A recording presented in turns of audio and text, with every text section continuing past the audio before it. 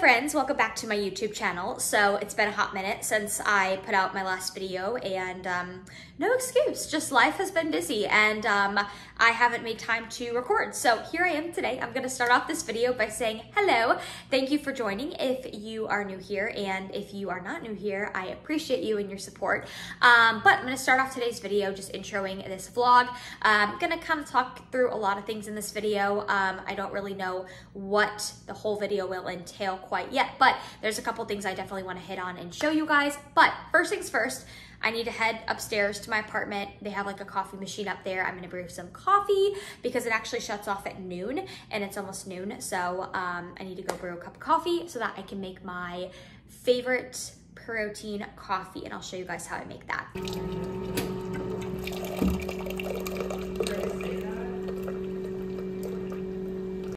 So here is what I do for my protein coffee is I have this little shaker bottle and I put about four ounces of unsweetened almond milk in it. Um, and then I added about a tablespoon of this Cake Pop PEScience Protein, my favorite flavor currently. Um, I also use it in the Creami, so I only use like a little bit in my coffee since I use a half a scoop um, later in the day for my Creami. And I try not to have like more than a scoop of protein a day. So that's why I'm only using like a tablespoon or so in this. Um, shook up the almond milk and the protein and I'm going to pour it on top of my coffee. And then I always sweeten it with a little bit of stevia too. So I wanna show you guys a little meal I'm putting together. I know this does not look appealing whatsoever, but PSA, air fry your carrots. It is so flipping good. Um, these are just like raw baby carrots that I placed into my air fryer at about 400 degrees for like 10 minutes.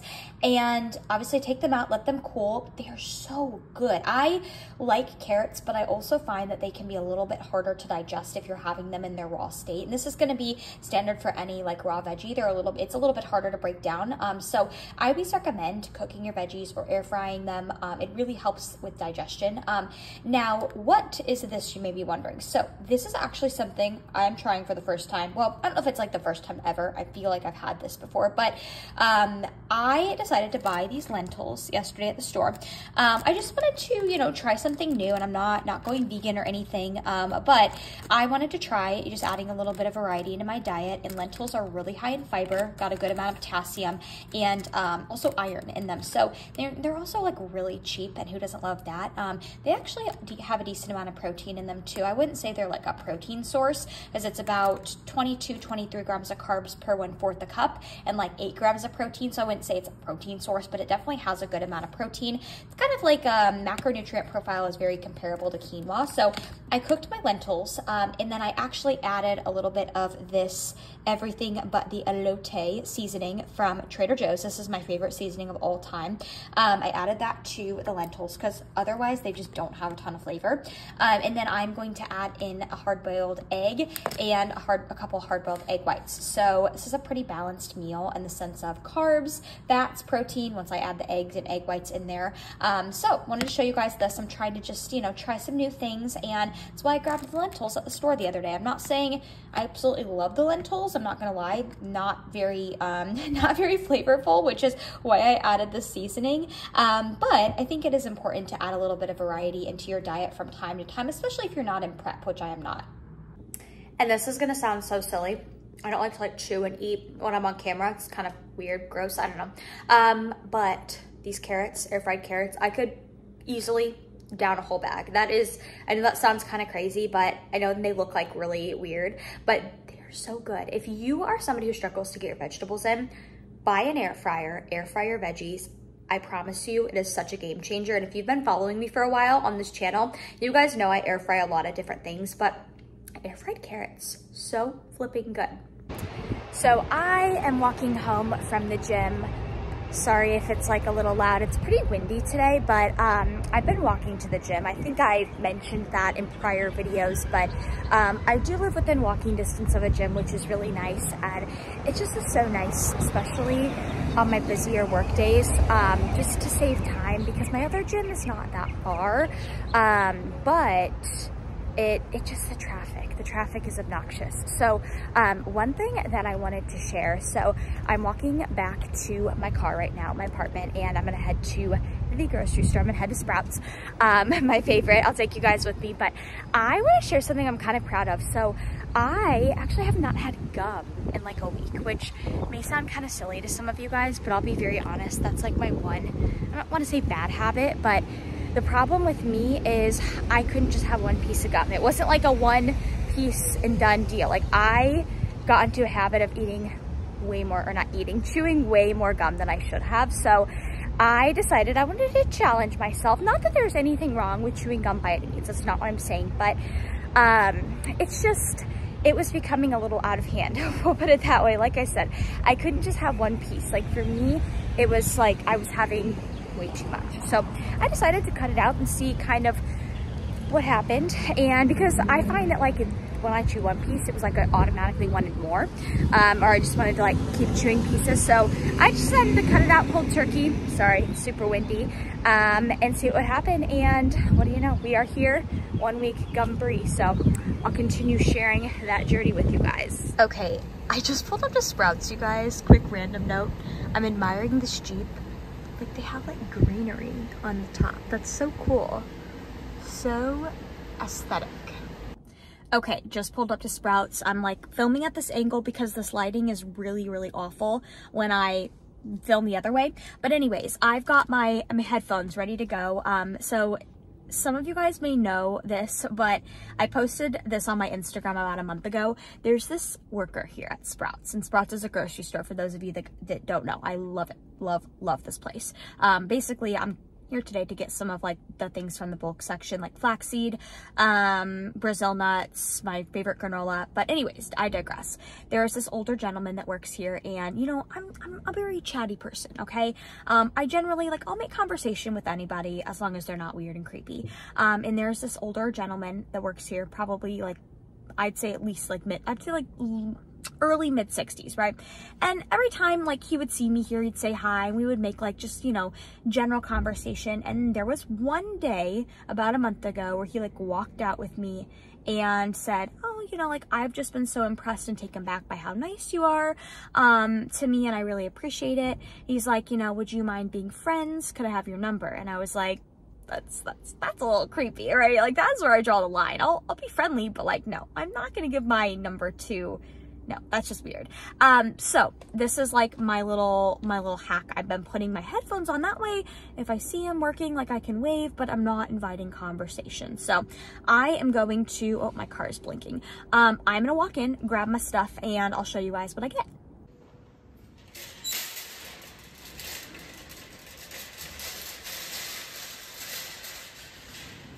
So I'm getting my flaxseed meal. Fun fact, flaxseed meal is what you want to get. Um, up above here we have the regular like flax seeds and your body can actually not digest these super well. Um, so always get the flaxseed, like the ground flaxseed, aka the flaxseed meal.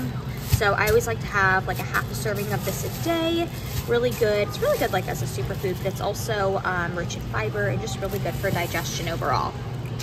So this granola, the apple cinnamon raisin drizzled granola is my absolute favorite. I love getting this every time I come here and because my carbs are pretty darn high, this is like one of, this is actually a really good way for me to like help me to get in my carbs. Um, so it's pretty, pretty carb dense, pretty low serving size for a decent amount of carbs. So favorite granola of all time. I love it. All right, good secured. I didn't get that much, but I'll show you guys what I got when I make it home, but he was there, but we, we made it out in a, in a safe manner. So that's the good news. So a very random, very small little haul, but mainly I just needed to go to Sprouts to get a couple bulk um, things. So I got some nutritional yeast. I love nutritional yeast. It's very rich in fiber and also B vitamins and it tastes really delicious. So it's really good to sprinkle on top of food. It kind of tastes like a nutty cheese. I think that's the best way to describe it. Um, and I got some of the flaxseed meal as you guys saw. Um, of course, got my Brazil nuts, had to stock up on those. You guys know I love Brazil nuts. If you did not know, two to three per day is the, it gives you the amount of selenium you need in a day. Um, and selenium is really important for thyroid health. So I've been doing these like two to three a day for the past year. Um, I got some more baby carrots because I, I'm so obsessed with my air fried carrots right now. And then I did get some tofu and then I got my granola that I showed you guys as well. You guys, it is that time of day. My Ninja Creami. This lighting is a little odd. I think it's just because I have the overhead lighting. But look at that fluff factor. There we go. There's kind of a another better view. You guys, if you want this recipe, it is on my Instagram. I posted a reel on this exact recipe, so go check it out. Okay, my friends, so I want to kind of wrap up by touching briefly on something that happened to me last week that was very interesting. Um, I want to share with you guys. So last week, I, so just to preface, I went off hormonal birth control about a year ago. I was on it for like seven years. And, you know, when you come off of being on something like that, it can take a really long time to regain your cycle. So I am really focused on regaining my cycle right now. And I think I'm about to like get it because last week, I had basically what I would call like a ghost cycle. So like I had all the symptoms of a cycle, but I didn't actually have my cycle. And sorry if you're, uh, you know, a guy watching this, but I feel like this could be interesting to you guys as well. But basically, my point is, I had all the symptoms of my cycle. Um, I was so bloated. I cannot remember the last time I was this bloated. I literally felt like I had a film of water over me. Now, the interesting thing is I took my progress pictures last week, which I will put them above. And I remember checking in with Paul and I was like, oh, like I did not want to check in, you know? And I'm sure those of you watching who are females, you guys know, like when you're on your cycle and you feel bloated beyond get out and your weight is up, like the last thing you want to do is put on your heels and a suit and check it. Um, and Paul was like, oh, you know, with your frame, you know, you're already so like, you know, petite, like I can hardly even notice any water. And and I remember at the time I was like, all right, whatever. Like I could notice it in my physique. But the funny thing is I look back at these pictures a week later and I'm like, you know what? No, I don't even really notice the film of water on me, um, which is just so funny, like how perception changes so much when we look at our own pictures. But my point is I took a couple days off of weighing in last week when I was in the middle of like feeling super bloated because I was like, I just don't need to step on the scale and see that. Like literally there was nothing I could do about the water retention. I'm not gonna step on the scale and cause even more stress. So I took a couple days off and by my check-in day, I weighed in um, so I could have data for my coach, and I was up about like two and a half, three pounds. All right, like I'm just fluid. And um, yes, it was uncomfortable, and you know, but I knew there was nothing I could do about it. And I was trying to kind of reframe my mindset to be like, yay, this is actually really good. This means you know you're probably getting ready to maybe have your cycle. Like I think it will probably come next next month for real. Um, so I'm just gonna keep tabs on that. But it was such a weird week because not only was I bloated, but I was having like every other symptom under the moon. I was having light cramping, um, like achy joints, feeling extra fatigued. So we'll see if my cycle comes for real next month. But um, anyways, I actually just took my progress pictures too for this week. And you know, what's so funny is I weighed in today and I'm not bloated at all. In fact, I feel pretty lean. Um, and I weighed in and I was kind of surprised my scale weight like was up, but I was actually, I took my pictures and I was really happy with them. So I'll put them up here um, because I don't think I've, I've, never looked this way at this weight, right? So, um, and my training is so amazing right now. And so this is like one of the first times in a long time I've looked at that higher weight and have been like, you know what? Hell yeah, I'm building, I'm putting on muscle, and I know this is what my coach wants to see. He really does want to see us go up in weight a little bit. So um, all things aside, I'm really actually happy with my pictures, despite that, you know, that weight being a little bit higher. I know I'm, I'm doing my job as an athlete right now. I'm like actually building. So I wanted to share that with you guys. Um, you know, I'll keep you updated. Who knows, maybe next month I'll actually get my cycle, but um, doing all the things I, I can be doing to regain that. Um, and hopefully it comes comes next next month. We shall see. So that's a little update on last week. Um, it was just, whoa. I felt like so unlike myself though. There were times I was like looking in the mirror and I'm like, oh my God, like I, I've lost all my definition. And I'm sure a lot of you ladies can relate. Like if you're on your cycle or you've ever gone through phases where you're super, super bloated, um, it's just funny how you can like, your mind makes you think, oh my God, I've lost all my progress in a day. And like, you know that that's not true. Um, but it's really, I mean, it's taken me almost a week to kind of finally get back to feeling normal again. So it, it you know, didn't happen overnight, um, but I'm finally feeling normal again now a week later. Um, and now that I look back at my pictures that I sent last week when like I felt really bloated, at the time I looked at those pictures and I was like, oh, I can see like I'm holding a film of water. But now I look at them and I'm like, I don't really even, I don't see that. So um, anyways, so that is my little update there. So I wanted to share that with you guys and also give you an update on my progress pictures from last week during that really weird week. And then also this week when I, you know, I'm feeling a lot more normal now. Okay, friends, I want to wrap up this video here. Um, two things I want to touch on before I wrap up this video. One, I will have this video out before the show, so I can say this. Um, but if you are going to be at Clash in Orlando this weekend, I will be there. Come say hello. I will be around for at least I'm going to come for prejudging. I'm not sure if I'm going to stay for finals because when I drive over there, it's like a hour, hour, 15 minute drive. So there's like a big gap in the day between prejudging and finals. So I'm not sure if I'm gonna stay the whole day, but I'm at least gonna come for prejudging for the amateur and the pro show, which I'm super excited that this season is picking up and we have like bikini pro shows almost every weekend now. That's always exciting. I feel like you know how some people get really excited at the start of like baseball season or football season? Well, that is not me, but that is me towards bodybuilding. Um, I I'm not gonna lie, like I love people that love football. I love people that love baseball. That is just like I'm not I'm not really into it. I'm not.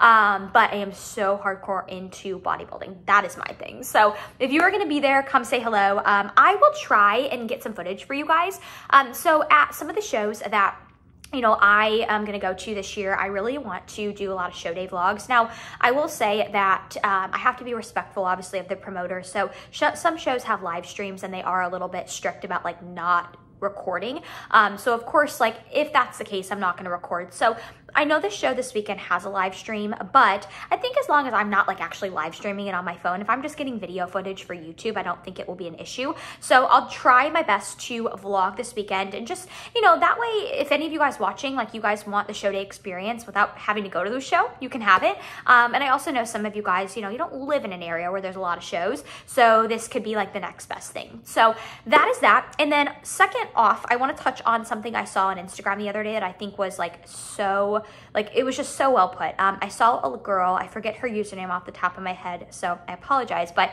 she posted something about, you know, how this time of year, um, it seems like a lot of competitors like are always getting asked, well, when are you getting on stage again, right? When are you competing again? And that can be a hard question to always be asking competitors, right? Because I think that's part of the reason some people feel like they need to be competing all the time to stay quote unquote relevant, right? And kind of like, I'll take my scenario. I don't know when I'm competing next. Like, obviously, I'm gonna get on stage again. Um, it's just a matter of time, but it's a matter of how much time do I need off stage to really make the improvements that I wanna make, right? And, you know, I guess what I'm trying to say is I've learned throughout my years of bodybuilding that, like, it's okay to take a year off, you know, even though that doesn't sound fun, um, that's where you're going to make the improvements, right? And like, honestly, if you're an amateur bikini competitor and your feedback is something like, hey, you need to just go and grow and build a little bit more muscle everywhere, like, I hate to say it. I know this may ruffle some people's feathers, but you need to probably take more than two to three months away from stage, right? There are people out there that will take two to three months off of stage and call it, you know, oh my God, my building season, right? And like, that's fine. Some people can get away with that, especially if their feedback is not to go and like build a ton of muscle. Um, that's why you see a lot of pros taking shorter improvement seasons or time, times away from stage because like their goal is they don't need to put on a ton of muscle, right? They just kind of need to fine tune, right? Therefore, they don't need to really take a year off of stage unless they want to, right? But, you know, I hate to say it, if you're somebody who gets the feedback of like you need to go and just add more size, you're probably not gonna do that in a couple months, right? It's gonna take longer than that. Now, could you compete again, you know, by only taking a couple months off? Absolutely. But I don't know what you're gonna expect. Like you're probably can't expect to step on stage looking any better than you did the last time, right? And that's why I always feel like bodybuilding is one of those sports where like delayed gratification is such an important and valuable like trait to have. So anyways, that's um that's what I wanted to discuss and close this video out with. But anyways, um, I seriously freaking love you guys. Like, yes, I said it. I love you guys. My YouTube family supporters, you guys are literally the best. I always appreciate all the comments on my videos and just know that I appreciate you guys so much. So um, anyways, comment below if you enjoyed this video. Comment below if you want to try or if you want me to try and vlog this weekend at Clash and just with the show days um, coming up this season as well. Um, but I hope you guys have a great rest of your day wherever you're at in the world. Um, as always, my discount codes, my coaching link um, are in the description box below. Um, but I will catch you guys in my next video.